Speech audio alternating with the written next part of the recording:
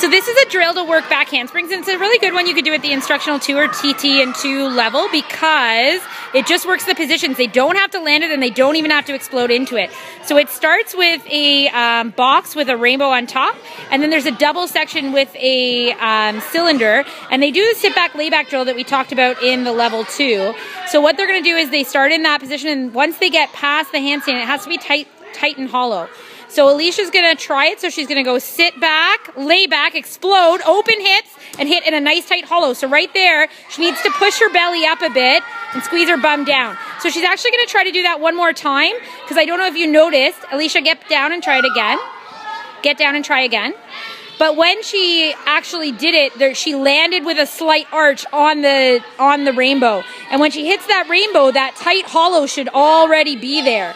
So she starts in the sit back, explode, lay back, and hollow the whole way. Oh my goodness, Alicia. Try again. Hurry, hurry. We don't have lots of time. Hurry, hurry.